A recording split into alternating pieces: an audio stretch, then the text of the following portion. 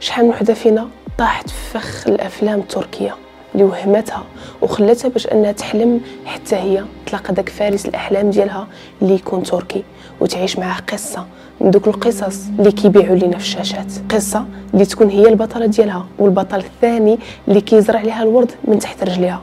لكن للأسف شحال من وحدة من هادو ما عارفاش الحقيقة المرة من وراء هاد الأوهام. اللي في حكايتنا الليلة أكيد إذا كنتي طايحة في هذا الفخ غادي تبدل لك النظرة ديالك والحمد لله أنها عندها نهاية إيجابية وفيها أمل.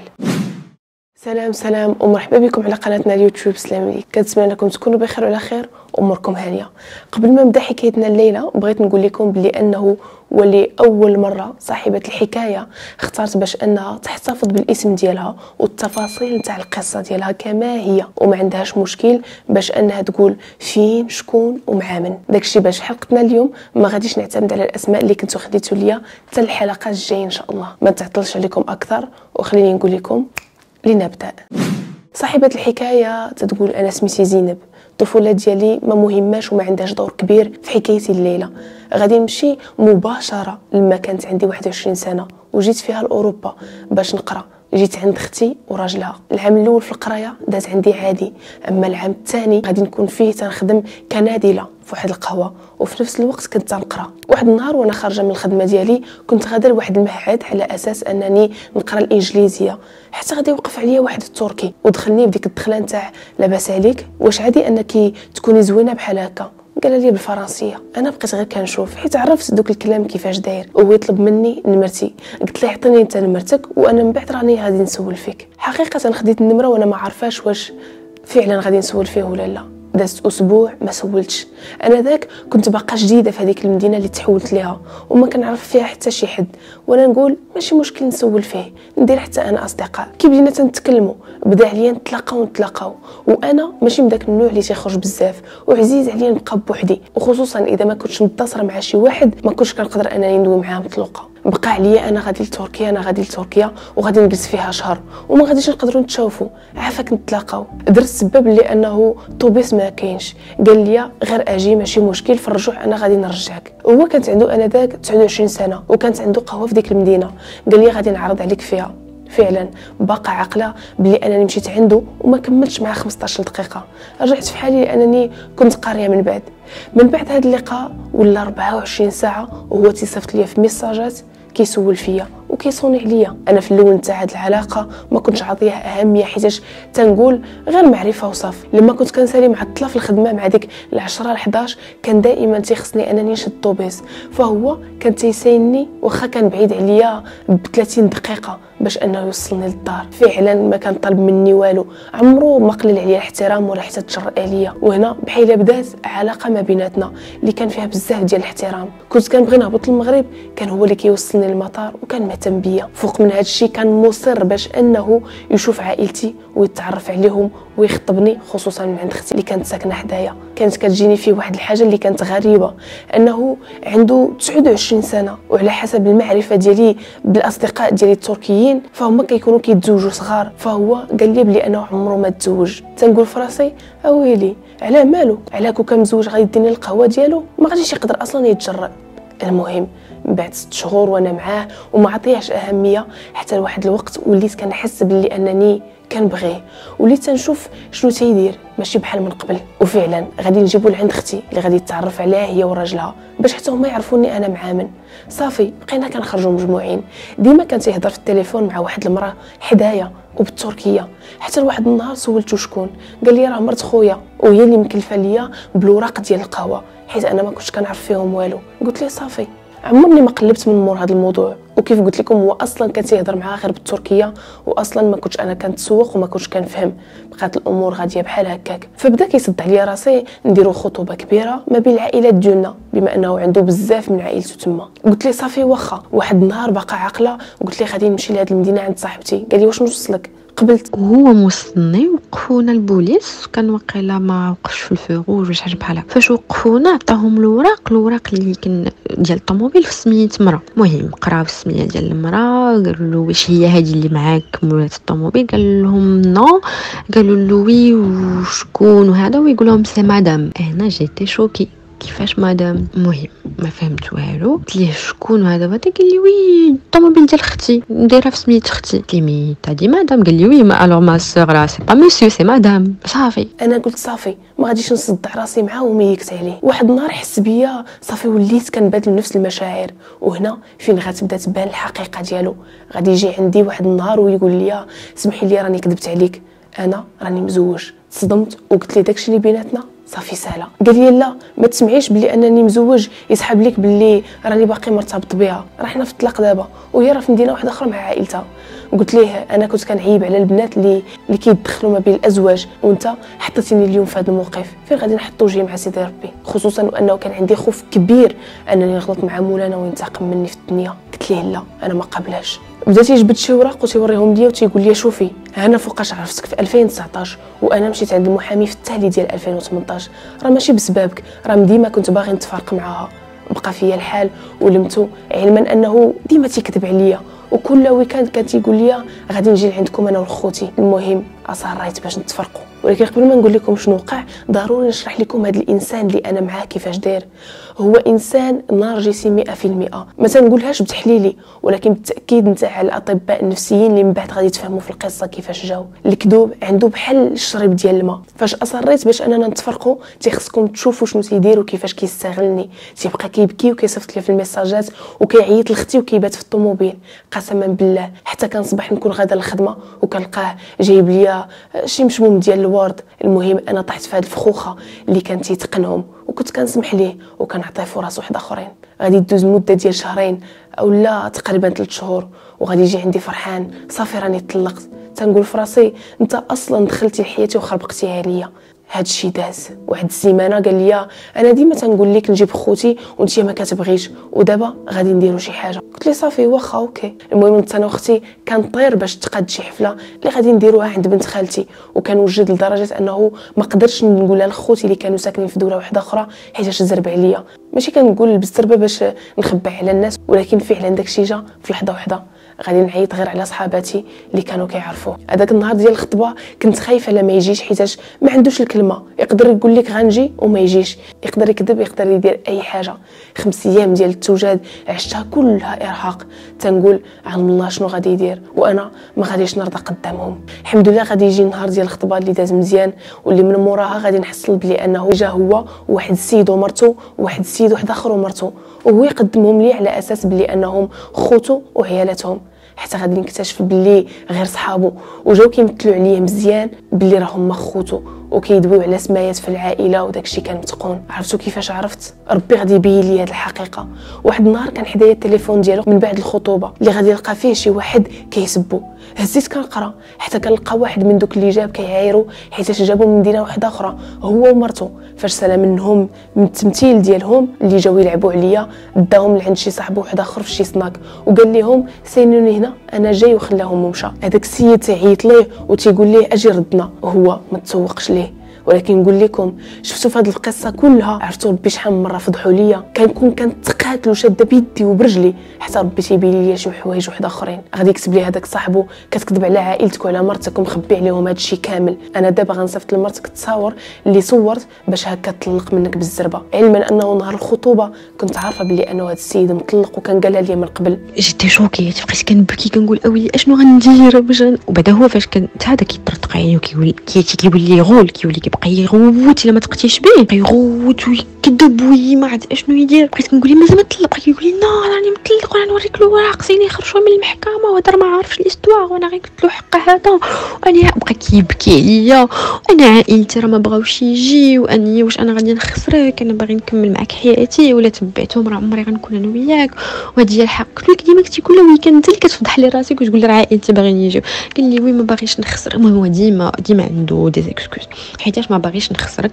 هادشي علاش درت هادشي؟ حيتاش كنبغيك هادشي علاش درت هادشي؟ دازت عاوتاني الميم استواغ ديال لارسولمون يبعد تحت الدار يطلب ختي ما يخلي ما يدير. المهم كان كيلعب ليا بدماغي. تقدروا تحكموا عليا وتقولوا بلي أنا مدلولة وما عرفتش شنو ولكن خصكم تعرفوا أنه فاش كتكوني ضحية ديال شخص نرجسي راه صعيب بزاف أنك تفكي من العالم ديالو. وتحلي عينيك وتستوعبي باللي داكشي اللي تيوقع راه ماشي هو هذاك كان كل الحلم ديالو أنه يفرقني من عائلتي وحتى من صحابي لدرجة كيكذب عليا ويقول لي أختك قالت لي ودارت لي نيتو يعزلني من كل شيء باش هو يدير فيا ما بغى. المهم تصالحت معاه ونوينا نهبطوا للمغرب فين نديروا العقد مع العائلة.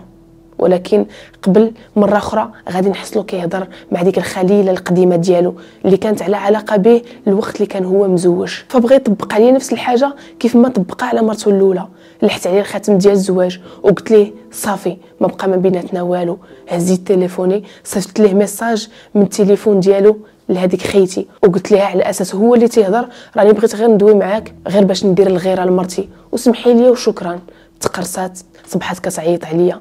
قالت لي راجع عندي راجلك. وجاب لي الخاتم ديالك وقال لي هاكي الخاتم انت هي مرتي وانت اللي تستاهليه. والاخرى راني ما تنبغيهاش. وبدا كيقول عليا كلام بزاف اللي ما كانش خصو يخرج واللي كيكون غير ما بيني وما بينه وقالت لي بلي أنا وكان تيجيبها لدارو على مرته الأولى فاش كانت هي كتسافر باش تشوف عائلتها. وكان كلام طويل وصادم. فاش ساق الخبر ان عاودت ليا بدا كيغوت عليها وبدا كيصوني عليها ألف مرة. حتى جاوبات.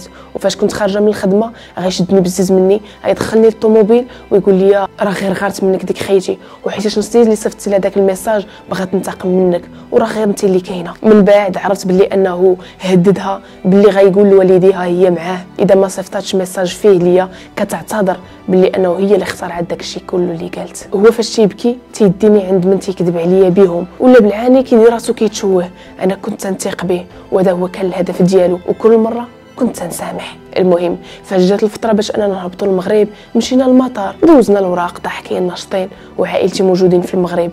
واحد الساعة دخلنا للطيارة وبداو كيعيطوا سي فلان سي فلان. جاو لعندو قالوا ليه ما يمكنش ليك تسافر لأنه الباسبور اللي عندك فيه لاجئ ما يمكنش تدخل به غادي يخصك الفيزا. بقيت كنبكي وكنقول هادشي راه ماشي معقول. غادي يرجعونا في حالنا لدارنا. أنا هاد الوقت ربي صيفط لي رسالة على قدها باش نفهم ونحل عيني. ولكن مشات الأمور بطريقة واحدة أخرى. دازت شهر وعاد هبطنا للمغرب ومشينا درنا حفلة. ولكن هو وسط هادشي كله كان فقسني ديما ما عجبوش الحال. وما تيبغيش ما تيبغينيش يشوفني مع عائلتي ضاحكة وناشطة. فاش كان كيتعصب كيبقى كيعاير بكلام اللي تيطيح بشخصيتي. الحمد لله في ديك الوقيته أني كنت إنسانة قارية وعندي ماستر وخدمت في شركات اللي هما كبار وزيد وزيد. يعني ماشي شي وحدة مكلخة ولكن هو اللي ما كانش قاري. وداك الشيء اللي ما عندوش هو كان تيحاول أنه يعايرني به. نكدها عليا ودوزنا نهار الحفلة باش ما الله. دازو بزاف ديال التفاصيل. تخيلوا ما كانش يعطيني فرصة فين نفكر في هذا الشيء بهذا الشيء اللي كيدوز عليا اللي كان كله غلط. ما كانش يخلي الوقت فين نراجع راسي. وتليفوني ما كانش تيحبس من الميساجات ديالو التعيطات ديالو. نبدل النمرة نلقى خرج ليا ب 1000 نمرة واحدة أخرى. المهم غادي نرجعوا لفرنسا. هاد المرة ما مشيتش نسكن معاه مباشرة. بيد ما الدار تقاد وبما نديروا عقد فرنسي. المهم حطيت صورتنا في الواتساب. مرتو القديمه كانت عندي. غادي تبان لها تصويرتنا وجات كدوي معايا. قالت لي كيفاش درتو حتى تزوجتو وهو ما عندوش الحق؟ حيتاش أنا وهذا السيد عمرنا ما طلقنا وعندي ولد معاه وعمره ما تفرق عليا وديما كيجي كيتلاقى بعائلتي ويلاقيني بعائلته ويبكي حيت هو باغيني ويقول لي راه الدار خاوية بلا بيك وزيد وزيد وزيد. هي كدوي وأنا كنت في واحد الدوامة اللي ما كنتش فاهمة. كانت الصدمة بالنسبة ليا. بحال طحت من شي عمارة عالية عاوتاني نفس العذاب ونفس القصة ونفس المعاناة. فاش هضرات معايا قالت لي بلي هذاك السيد اللي انت معاه راه نرجسي حيتاش كانت داتو عند شي بسيكياتر. وقال لها بلي أنه راه نرجسي وأنا فين أول مرة غادي نعرف المعنى ديالها. من بعد بديت كنقلب ولقيت بلي دوك المواصفات كلهم اللي فيه نتاع هذا المرض. بقيت تنفكر واش نمشي عند أختي وتنقول شنو غادي يقولوا الناس وشنو غادي تقول عائلتي. ما كنتش مزيان. وهو عاوتاني بدورو كيغوت عليها وكيقول لها علاش قلتي ليها. أختي فاش عرفت هادشي كامل بدات كتقول لي خصك تحبسي هاد العلاقة. أنا ما كنتش عارفة نحبس واخا شفت وعرفت حوايج اللي هما كتار المهم ما عرفتش كيفاش حتى هاد القضية دوزتها مرة أخرى ولكن اللي متأكدة منه أنه بدا تياكل ليا في دماغي وتيمشي ليا بالعاطفة. ما تيخلينيش نفكر كيطيح في الأرض وكيغوت ويدير الشوهة في الزنقة. مرة أخرى دازو بزاف ديال الأحداث والتفاصيل. لدابا فاش كنفكرهم ما كنستوعبهمش. غنمشي معكم مباشرة فاش درنا العقد في فرنسا. غنمشي عنده للدار اللي كان ساكن فيها مع مرته الأولى. تخيلوا ما غيبدلهاش وغادي يلقى بلي أنه باقي مخلي التصاور ديالها. هي وولده وتنقول لي حيدة. تيقول لي لا راه فيها ولدي. كان تيتلذذ باش أنه يشوفني كنتعذب وكنبكي. كان واشم فيه السمية ديالها. عانيت معاه سنين باش أنه يحيدها. السيد كان تيحاول يعذبني بأي طريقة. كنت بغيت نحماق وما كنحبش من البكا. هاد الوقت كنت درت ليه في تليفونه واحد l'application اللي كنت كنشوف منها أشنو كيوقع في تليفونه كان وقت ما خرج من الدار وخطا خطوه كيعيط على مرته القديمة. كل مرة تنقول ليه راك صافي ساليتي من الماضي ديما تيدير السباب ولده وهاد مرته هي اللي كان تيدوي لها من أول مرة في التعارف ديالنا. كنت بطبيعة الحال كنلقى المكالمات كل مرة وكنبدا كنغوت. هو بالعاني كيعيط ليا حدايا وكيعايرها وأنا راه عندي مرتي وما تبقايش تدوي ليا. من بعد لقيت باللي أنه كيتعيطوا ما بيناتهم ب des codes تيقول لها حتى ندير هذه القضية عاد جاوبيني. كان غير كيصيفط لها نقطة أو لا فاصلة في message كتعيط ليه بالنمره مجهولة. فاش حفظت هذا القلب ديالهم واحد النهار صيفط لها أنا في بلاصتو وهي تعيط لي ديك الساعة غير سمعت صوتي وهي تقطع. كانوا لاعبين عليا مزيان. من بعد غادي نحمل. ما بغيتش نقول للأسف لأنه ولدي كانت أحسن حاجة طرات لي في وسط هادشي كله. كنت وسط علاقة سامه ومريضة وكنت دايرة جميع الاحتياطات ديالي باش أنني ما نحملش. ولكن إن شاء الله أنني نحمل. هو بغيت تصطاب الفرحة لأنه من ديما كان مصدع عليا راسي باش نديرو الاولاد فاش شافني حملت قال في راسو صافي غادي نحكمها بالولاد. وزاد على كيف كانت تكفس أكثر وأكثر. مو عمرها ما قبلتني وكانت مربوطة بديك مرته الأولى. حصلت عليه خيانات وكذوب. والقصة ما بغاش تسالي معاه. ولد ودازو شي شهورة حتى لواحد النهار ضربني حيتاش حصلت عليه خيانة واحدة أخرى. وبديت كنبكي. وأول مرة غتجيني الشجاعه أنني نعيط ليه للبوليس وغادي يشدوه لمدة 48 ساعة. بقى فيا وبديت كنبكي وغادي يخرجوه ولكن قبل غادي يعطيوه يسني واحد الورقة باش أنه لمدة 6 شهور ما يقربش ليا وما يعيطش ليا. كلشي تيقول لي هادشي اللي درتي ليه يستاهلوا. ولفني أنه يدير في الزباير وأنا نرجع ليه. من بعد شي شهور وأنا معاه على داكشي اللي وقع وأنا تنقنعو بلي أنه كل شيء سلامه بيناتنا. حتى لواحد النهار مو فاش كانت في تركيا طاحت عليها الدار. بقات تحت الأنقاض لمدة واحد ربع أيام. السيد مخلوع وتيبكي. خليت كل شيء من مورايا وقفت معاه وخديت ليه البيي من عندي. وقلت ماشي مشكل نتقاتل معاه النهار فاش وصلت الوقيته باش أنه يمشي. بقى كيقول لي يلا معايا. قلت في راسي واش نخاطر ونمشي معاه ونخلي ولدي من مورايا وما عرفاش أصلا فين غادا أختي عرضت الفكرة حيتاش بإمكانه أنه يدير لي شي فخ يدير لي شي حاجة. كلا لي دماغي ومشيت معاه. وصلنا للمطار مازال حنا فرنسا. قال لي غادي نخليك في العاصمة تاع تركيا. وأنا غادي نمشي لديك المدينة اللي بعيدة على العاصمة ب 800 كيلومتر. قلت له لا راه ما نقدرش نبقى بوحدي. وشكيت بلي أنه ما كانش راضي بيا باش انه يوريني الخوت والدراري. خرج من المطار وخليته. بدا تيعيط ليا وقال لي خليت حتى أنا طيارتي. وما مشاش. باختصار مفيد. غادي نوض نقاش بيني وبين خوه. ما احترمنيش. وهو ما دافعش عليا. حسيت بالحقرة. مشيت كنقلب على فين نكري أختي ما خلاتنيش. قالت لي أجي عندي حتى تلقاي فين تجلسي. هذاك النهار سديت عليا. ما باتش هو في الدار. لا غد ليه. جايب لي الورد والنفاخات فيهم القلوبة. كأنه ما كاين والو. فرع الباب ولقاني جمع حوايجي وحطهم حدا الباب. بدا عليا بديك السينما ديالو قصحت قلبي وخرجت في حالي. فعلا بقى فيا الحال بقات فيا داري اللي حلمت أنني نكبر فيها ولدي الحيوطة ديالها اللي صبغتهم بيدي وكل شيء درته فيها عن حب. بالحق قلت ربي غادي يعوضني خير. أنا حاليا عند أختي ومزيانة وكنحمد الله ونشكره أنني هاد المرة غادي نخرج بلا ما نكتئب. من غير واحد يومين اللي حسيت بالحرقة كبيرة وبكيت فيها حتى برد وبديت كنصلي وندعي حتى برد عليا مولانا لاول مرة بدلت نمرتي اللي عمرني ما قدرت نبدلها. ببساطة ما تليتش باغا يكون عندي شي اتصال به أنه لما تيكون هذا الاتصال ما فهمش شنو تيوقع ليا حتى كنسامح ليه.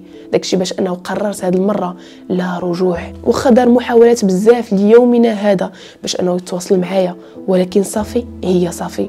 وهذا قرار اقتنعت به ألف المية.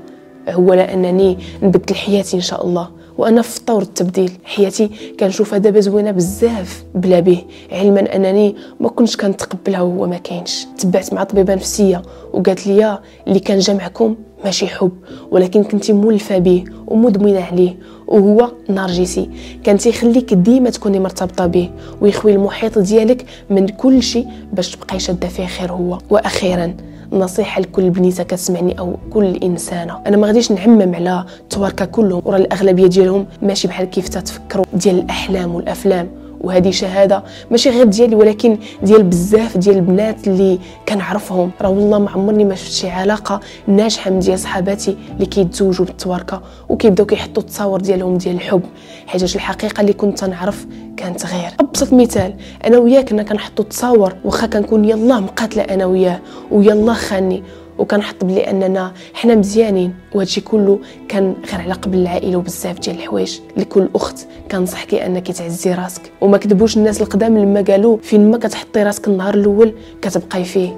أنا هادشي كنت كنسمعو عند أختي وعند ناس كبار وتنقول غير داويين ولكن وصلت ليه. داكشي كله اللي درت على قبله بدافع الحب وبعيني مغمضين ندمت عليه. واخا تكوني كتسطي عليه كنقول لك صبري صلي ودعي ربي غادي يبرد عليك. سيري بقيمتك وإذا كنتي كريمة بزاف سامحي المرة الأولى المرة الثانية أما الثالثة لا. حيت اللي ضرك زوج مرات وعطيتيه الفرصة الثالثة وغير غلط فيها غادي تبقى مع حياته كلها. أنا سامحت شي أكثر من 400 مرة. سامحت على شي حاجة ما كيتسامحوش عليها الناس. غلطت وتعلمت من الغلط ديالي وحتى نتوما خصكم تعلموا من هذا الغلط. واللي طاح في شنو طاحت بغيت نقول لك تكوني قوية وتقاتلي باش ترجعي الكرامة لراسك. والله العظيم إلا عمرني ما نسى دازوا عليا صباحات تنفيق وكنقول يا ريت كون ما صبحتش فيهم. ولكن الحمد لله أنا اليوم قوية أكثر من وقت واحد آخر داز في حياتي. تقويت وعندي الطاقه ومستعده أنني نربي ولدي أحسن تربية وما يكونش مريض بحال باه. وهذه هي كانت حكاية زينب اللي كتقول أنها فعلا قصة بغات تكون لي العبره صراحة بعد هادشي كله اللي قالت والنصائح اللي عطات ما بقى عندي ما نزيد من غير أنني نقول لكم يا متابعين يا كرام خليو لزين كلام جميل لأنها شاركاتكم وصرحاتكم بوجه مكشوف وكانت شجاعة في أنها تعود تفاصيل على حياتها. دمتم في رعاية الله وحفظه تلقاهم بعد غدا في حكاية جديدة. سلام. سلام.